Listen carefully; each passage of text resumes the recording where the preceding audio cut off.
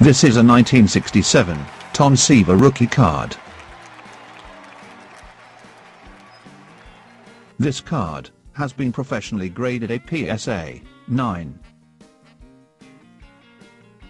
Recent transactions